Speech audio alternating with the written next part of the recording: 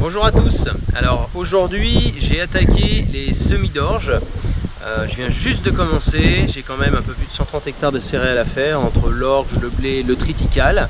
Et après je finirai par la févrole. Donc là on a eu pas mal d'eau, on est euh, fin octobre, il est grand temps que je sème. Et la problématique c'est que on a quelques millimètres qui tombent, ensuite ça ressèche, quelques millimètres etc. Donc euh, là j'ai pas le choix, comme vous le savez pour l'orge je laboure toujours, qui me permet de relever un peu plus de sec et de pouvoir semer. Mais là, on n'a vraiment pas de bol parce qu'on est dans du terrain qui est assez gras. Euh, non pas parce qu'il est argileux, surtout parce qu'il est humide. Et donc Sébastien, lui, sème juste derrière, attend que ça sèche un peu en surface et repasse derrière pour finaliser les semis évidemment. Donc là, ce qu'on va faire, c'est qu'on va aller direction le tracteur, le masser avec la 8 corps et on va labourer. Mais vous allez voir, c'est pas extraordinaire, j'ai un tracteur qui patine beaucoup, qui relève un peu de l'art et ça me plaît pas trop. Allez, on y va. Alors comme vous le savez, je vous l'ai déjà dit, euh, mes terres sont des limons battants. Et vous pouvez vous apercevoir qu'il y a quand même euh, une certaine fraîcheur. Ça colle au niveau des godets. Euh, le pire c'est le rouleau paquaire. Heureusement qu'il y a des décrotteurs évidemment. Mais bon, il faut qu'on sème quand même un petit peu. Donc j'ai pas le choix. On va quand même retenter encore de labourer, de semer derrière. Si vraiment ça colle de trop, des fois il faut mieux rester tranquille pendant 2-3 jours. Normalement ils annoncent un peu de sec. Je dis bien normalement parce que la météo en ce moment c'est pas ça. Euh, pour qu'on puisse quand même travailler et avancer un peu. Donc vous pouvez vous apercevoir qu'il y a encore des flaques d'eau, c'est encore retombé quelques millimètres. Dès que ça commence à être bon à travailler, bim, ça retombe de l'eau. C'est assez pénible cette année.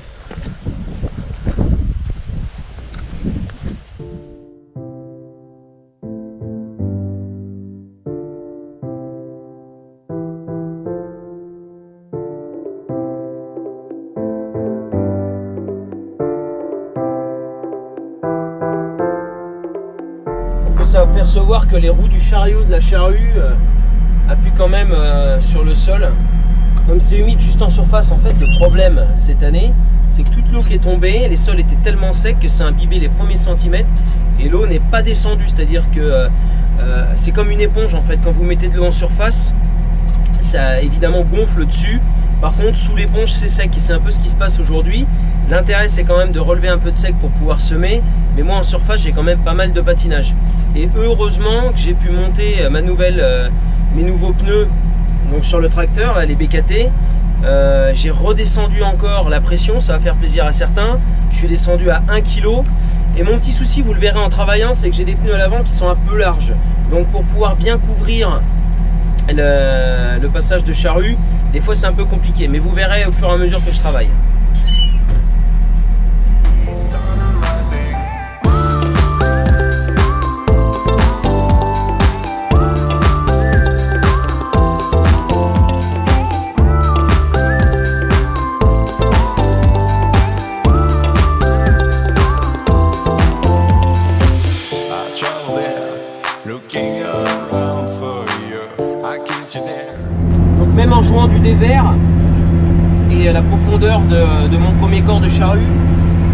C'est pas facile de bien recouvrir pour avoir un, vraiment un travail plat. On voit un tout petit creux, et ça j'ai vraiment la largeur, euh, c'est mon pneu devant qui est assez large.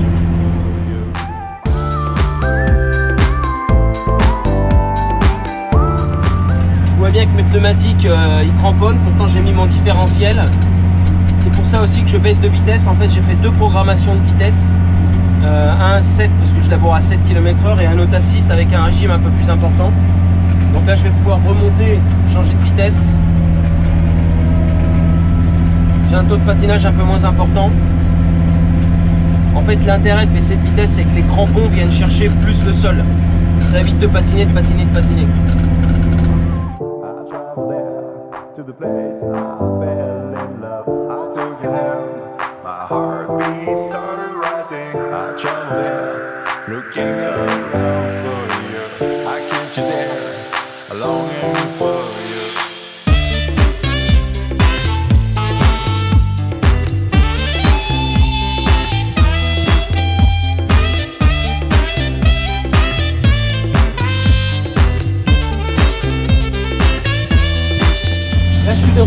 Avec quelques cailloux. On peut entendre d'ailleurs les cailloux qui tapent sur le versoir. Et en plus c'est un peu c'est argileux. Un vrai plaisir. Vous voyez, je remonte à 20-20%. Je pense que Je vais continuer encore 2-3 tours et franchement si je vois que ça continue comme ça, je vais rester tranquille 2-3 jours. Tant pis, euh, je préfère faire euh, perdre 4 jours de travail mais pouvoir travailler dans de bonnes conditions de travail.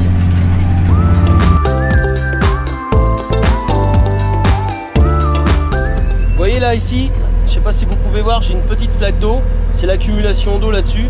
Donc en fait je vais faire tout mon champ mais je vais laisser les chintes, enfin ce qu'on appelle les fourrières, je vais les laisser sécher tranquille. Et en plus je sais pas si vous pouvez voir, j'ai des petits problèmes de roue de jauge. Pourtant je l'ai graissé, euh, mais à mon avis il y a un petit peu d'usure là-dedans.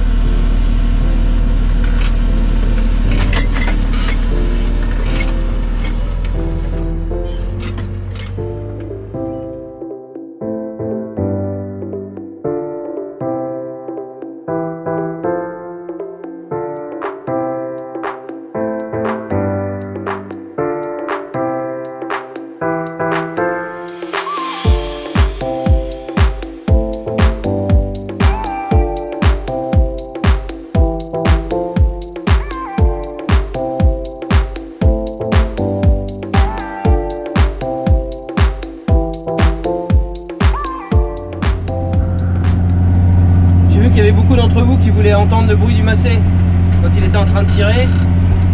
Et ben on va passer quelques secondes à entendre ce joli bruit, cette jolie chanson.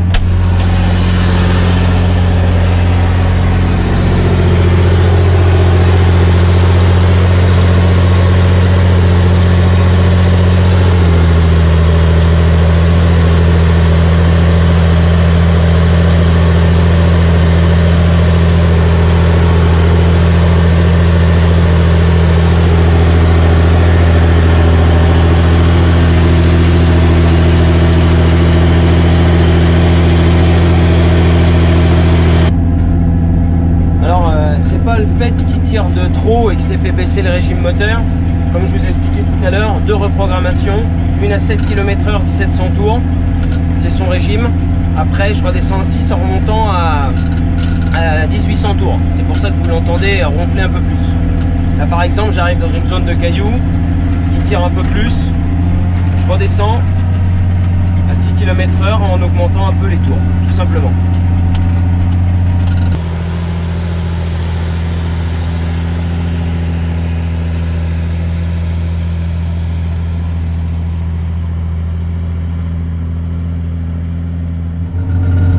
La dernière vidéo, quand j'ai euh, changé euh, les pneumatiques de la charrue, euh, j'allais changer les pneumatiques de la charrue, j'ai fait quelques petites modifs dessus. Je vous avais dit que j'avais quelques petits problèmes hydrauliques. Et en fait, donc j'ai changé quelques clapets, les robinets. Et c'est vrai que depuis ce temps-là, j'ai plus la butte au niveau du chariot. C'est-à-dire que maintenant, je mets mon vérin en libre, ce qui fait que mon derrière de charrue, après le chariot, suit beaucoup mieux le sol et ça m'évite d'avoir cette butte. La seule problématique, c'est que j'ai deux vis pointeaux qui me servent de profondeur de, chariot et donc profondeur de labour. Et le problème, c'est qu'elles sont ultra, ultra grippées. On les a fait chauffer, on a tout fait. On n'a jamais réussi à les, à les sortir. J'ai même cassé un axe. Donc là, cet hiver, euh, ben, je vais essayer de, de percer, essayer de tarauder. Je sais pas comment je vais faire, mais il faut que j'essaye de, travailler au mieux euh, le réglage de profondeur du chariot permettra de labourer encore plus superficiellement.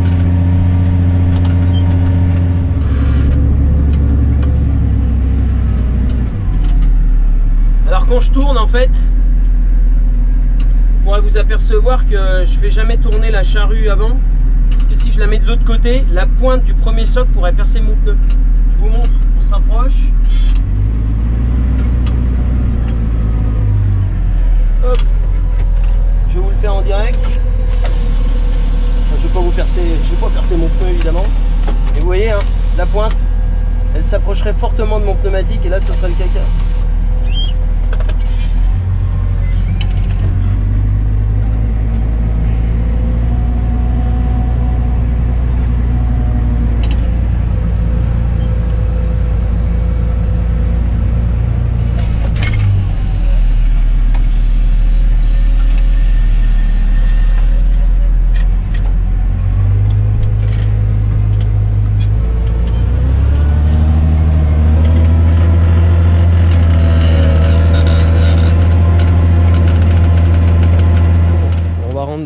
Ce qui est à César. Donc Sébastien, depuis que le classe est arrivé, c'est son tracteur euh, fétiche. En laissant le tracteur à Sébastien lorsqu'il va semer, ce qui va me permettre de moi pouvoir labourer un petit peu d'avance, sachant que je pense que je vais faire 2-3 tours et je vais m'arrêter là.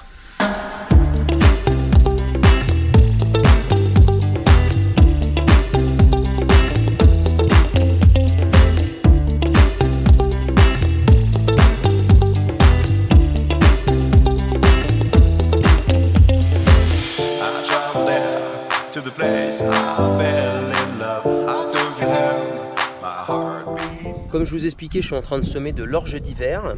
Souvenez-vous, lors de la dernière récolte, j'avais fait de la maltesse, la variété maltesse, qui est une variété fourragère pour les animaux, et non de la brassicole pour faire de la bière. Donc là, euh, comme l'année dernière, elle a plutôt bien fonctionné, eh bien, je recommence cette année, en espérant qu'elle fasse comme l'année dernière, en sachant qu'on la sème environ à 250 grains au mètre carré, ce qui représente environ 135 kg hectare. Là, on l'a semé, une partie parce que comme je vous ai expliqué, euh, on va sûrement arrêter parce que euh, c'est humide et on va laisser euh, les sols se ressuyer un peu plus longuement. Et j'en profiterai ensuite pour désherber, faire un post-semi prélevé pour avoir des champs plutôt propres. C'était plutôt pas mal cette année. Essayons de garder un stock moindre d'adventices pour avoir des champs le plus propre possible, sachant que nous avions quand même déchaumé sur cette parcelle deux fois.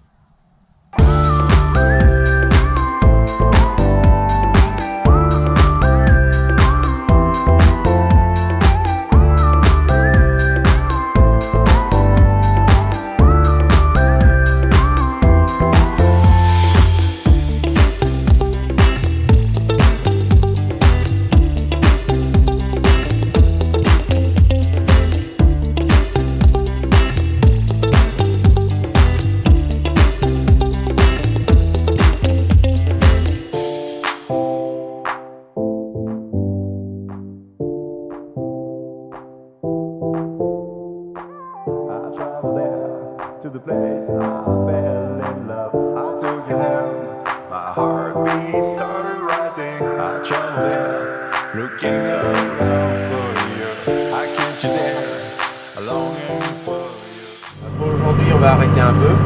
Comme il y a beaucoup trop d'humidité, c'est trop gras, ça fait de la motte. On finit le passage, on arrête. Donc, comme vous pouvez le voir, c'est beaucoup trop, beaucoup trop humide, la, terre est colle, donc euh, c'est pour ça qu'on va arrêter.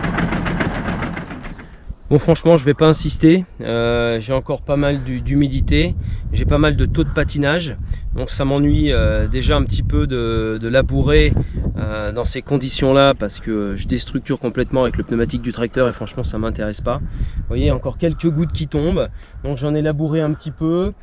Sébastien a aussi arrêté de semer parce que pourtant vous pouvez vous apercevoir que c'est plutôt pas mal. Hein, dans les limons battants, ça, ça grâle, ce qu'on appelle grâler, ça sèche, assez vite. On a des petites mottes qui évitent la battance, c'est pas mal. Mais bon, dans le fond là-bas, c'est quand même euh, un peu plus argileux, ça fait des mottes. Le travail me plaît pas du tout. Euh, on va rester tranquille. On n'est pas en retard, on n'est pas en avance, mais on n'est pas en retard non plus. Donc on va, les, on va laisser sécher euh, quelques jours. Normalement, ils annoncent du beau, comme je vous ai dit tout à l'heure. Je croise les doigts. Et puis ensuite, on rattaquera de labourer, de prendre un peu d'avance, de laisser sécher sur mon labour, comme vous pouvez le voir. Je sais pas si vous pouvez voir qu'on a des petites différences de couleur. Vous voyez là, quand c'est un peu plus sec, c'est un peu plus clair. Donc il faudrait que ce soit un peu plus clair au-dessus, justement pour que euh, la rotative fasse du bon travail. Elle évite un lissage et surtout que mes godets se remplissent pas de terre et donc pouvoir semer euh, dans des bonnes conditions. La graine environ à de 3 cm, 3 cm, c'est pas mal. Écoutez, pour le moment, on va rester tranquille. On va mettre le matos à l'abri. Vous avez pu voir, et surtout le nettoyer parce qu'il est rempli de terre. Voyez les roues, ça dégueule de partout. C'est insupportable. Vous savez que j'aime pas ça. Donc voilà. Et moi, je vous dis à très vite pour de nouvelles aventures sur ma chaîne Prodil Center. Ciao